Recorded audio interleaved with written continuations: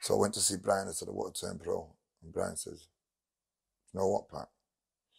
He said, it's going to be difficult, but we'll do it. I said, why is it going to be difficult, Brian? He goes,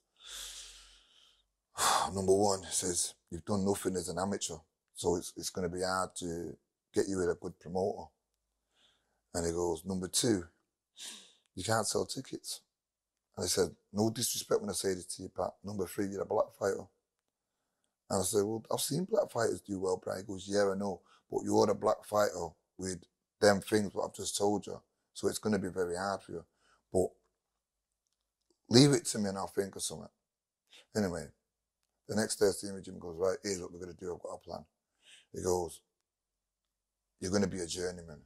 And I didn't even have a clue what a journeyman was at the time. Barely in mind, I'm, what, 19 years old. Yeah. And I go, what's a journeyman? And he goes, he said another word um, called cannon fodder. Have you heard of that word? Yeah, sure. He said cannon fodder. So I said, what's cannon fodder?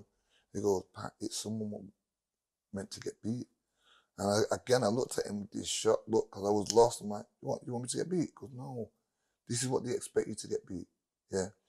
But this is how we're going to do. We're going to be in the gym. We're going to work on defense. We're going to do this. We're going to do that. And you know what? He had, he had everybody in that gym gloved up. And I'm talking, it must have been about 10 kids gloved up, lined up. Goes, right, you try and knock him out. And I sit on the ropes and catch, catch, catch, catch, catch. Right, you. Even up to the biggest kids. Hit him. Hit him, you see. I want you to knock him out. And they're coming and they're swinging haymakers and I'm catching them and blocking. And the whole moral of that, he said to me, because when you turn up, yeah, to fight these kids as the underdog, they're going to try and knock you out. But they're going to use so much energy in trying to knock you out by half the fight. You're going to knock them out. And he always had a plan for everything, Brian.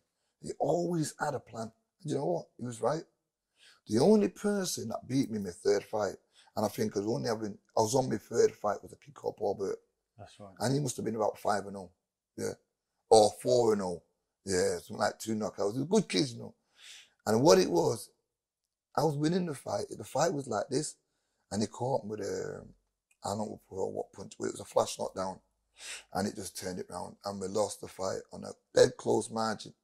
And you know, that day when I went home, that was my third fight, I'd never felt so devastated in my whole entire life. He thought I'd just been knocked out. And I remember Brian saying, listen, Pat, all the great fighters lose a fight. Sugar Ray Leonard lost a fight. Muhammad Ali lost a fight. Um, Sugar Ray Robinson lost fights. Listen, it don't make a difference. It's how you come back from that loss. You're only as good as your last performance. If you have a good win now, don't forget about that loss. From that, I never got beat. I was undefeated as a light welterweight. Yeah, I went on to do many things.